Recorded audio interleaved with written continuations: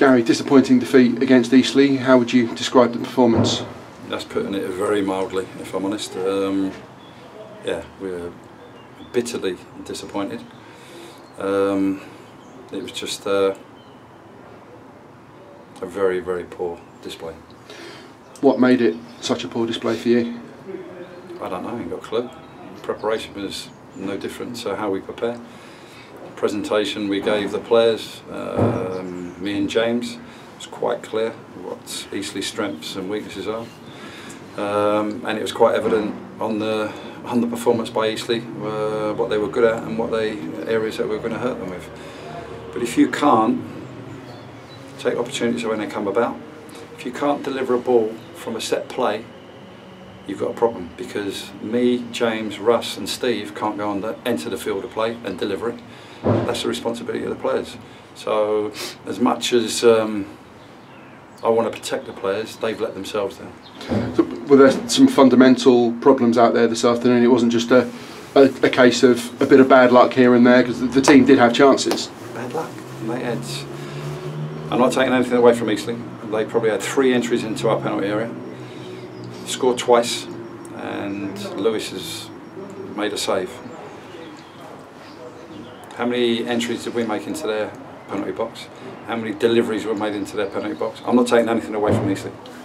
So we've got to get this right. And if you can't finish, if you can't put a header away from about four yards out, if you can't deliver a, a set piece, a corner kick, okay, sometimes you get it wrong. Not the amount of times we got it wrong today. So uh, look, we've got no divine right to be in the in the playoffs, um, and we're going to have to work extremely hard to get in there. On the evidence of today, it's going to be a, a hell of a lot of hard work. Do you feel that that's that's now in question? Of course it is. We're not in there. We're not guaranteed to be in there. Um, and we've got no divine right to be in there. You know, you have to work for everything in life. Um, did we work today? You have to ask the players that. So did you, do you feel it was in the execution, in the, the energy levels, the you know, there, there, I think a lot of people will see there was there was quite a lot out there that, that wasn't the usual Aldershot Town performance. But is there something you can you can put your finger on, or, or is it across the board that it was? Well, just we've had opportunities uh, today. We've had opportunities this season, and have we taken advantage of them opportunities that have uh, arisen?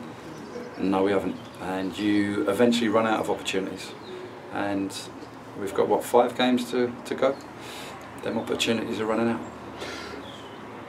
There's a lot of competition for places. There are good players not involved this afternoon. I suppose they, everybody that started this afternoon, they're all not just playing for something this season, for the for the ongoing for the future, for the club's future and their future. I suppose. Well, you've touched on it. I just had an interview and I said exactly what you said. Every time a player enters the field of play, he's playing for his career, and they're playing for contracts. And you know, we at this football club can only, we only give a year contracts out, and time's running out. And you know, they're playing for their livelihoods, they're playing for their careers, they're playing for their families. Now, whether they know they've got a contract elsewhere, I don't know that. They, they only know that. But um, at this club at the moment, we have to make decisions in a few weeks' time, and we have to wait and see what them decisions will be now. You've said so often about how, how good, how honest the team are, how, how it's a good squad. They're a good professional bunch. Yeah. You're expecting to see that honesty in training this week and against Maidenhead next Saturday. No, we get, we- have that, and that's not that's not an issue. But opportunities, you have to take an opportunity. Otherwise, it goes. They're short careers, and you know, at the moment we're in the playoff area.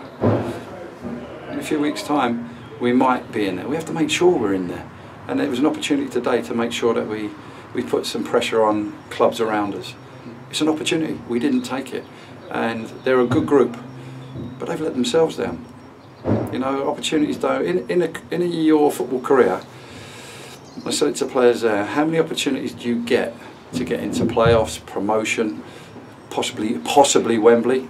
Um, but that's a that's a long, long way away because if we get into the playoffs and there's an opportunity, will we take it?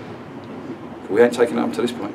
And I suppose the worst thing, if you give your all and you come up short, you accept that. But if you if you die wondering, that must be the biggest regret of all, I suppose. Just touch on it's a short career.